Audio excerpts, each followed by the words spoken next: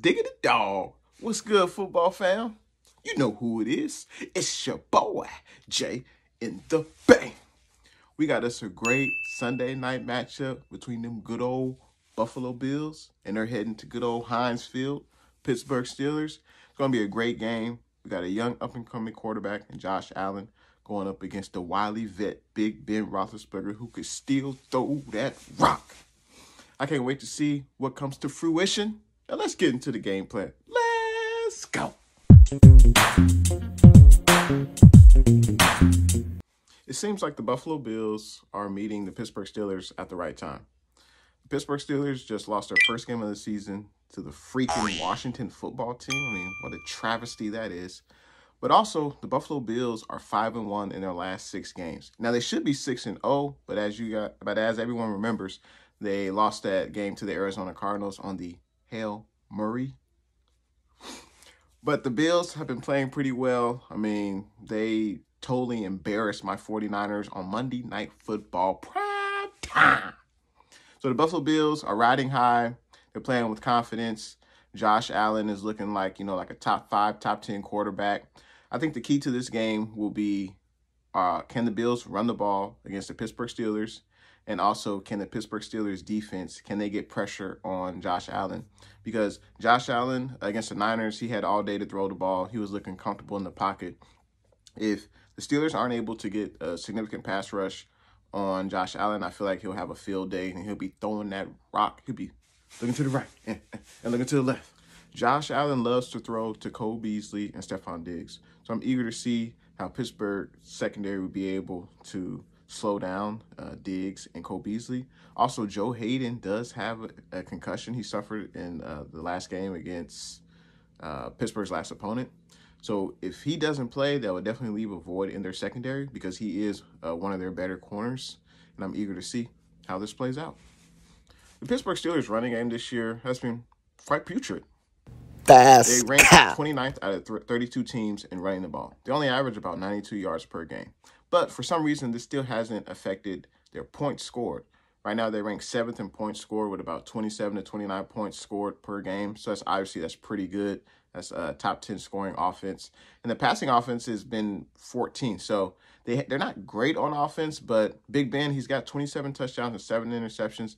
Clearly, he's still uh, playing at, you know, like a Pro Bowl level. And Pittsburgh Steelers, they do have, you know, weapons all over the field. They got Claypool, they got Washington, they got Ebron. They got Choo Choo. So it'll be interesting to see if Buffalo Bills secondary will be able to cover all those uh, receivers. Because Big Ben, when he has time in the pocket, he can throw that rock. The Pittsburgh Steelers have one of the best defenses in the NFL. They rank top 10 in these categories. Actually, top five in these categories. Passing yards allowed, rushing yards allowed, uh, points allowed. They actually rank number one in the NFL. They give up the least amount of points uh, through the first, what, 12 games of this year. So Pittsburgh's defense is no joke. And they're led by Minkah Fitzpatrick, who's a ball hawk. You know, he leads the team with four interceptions. They also got the stud TJ Watt on that D line. He's got 12 sacks this year. He can definitely get after um, the passer. The Buffalo Bills defense, uh, statistically this year, has been bottom 12 in points allowed, passing yards allowed, rushing yards allowed, and points scored. But they did play pretty well against the 49ers on Monday Night Football. But I feel like they're going to get their stiffest test uh, against the Steelers because the Steelers have multiple wideouts. They got Big Ben, the wily old vet who can still tote that rock. So it'd be I'm eager to see how the Bills defense and their secondary uh, attack the Steelers and if the Bills would be able to, to get uh, a pass rush on Big Ben. The Bills were able to pressure Nick Mullens, the quarterback on the Niners, on Monday Night Football. And I want to see if they can do the same thing against the Pittsburgh Steelers do have some injuries on their defense, specifically Bud Dupree, who was second on the team with eight sacks. He'll definitely be missed in this game. And also Devin Bush, he's on IR. He's uh, their middle linebacker. He was um, one of their better tacklers on the team. But Avery Williamson seems like he's replaced Devin Bush's production. So we'll see how that plays out against the Buffalo Bills. Now let's get into the keys of the game. This would be a great matchup between two of the better teams in the AFC conference. I like the Pittsburgh Steelers, though, to win this game. Not only do they have a pretty good passing attack with Big Ben and his plethora of receivers, but they also have one of the best defenses in the NFL and I feel like Josh Allen will be challenged by this.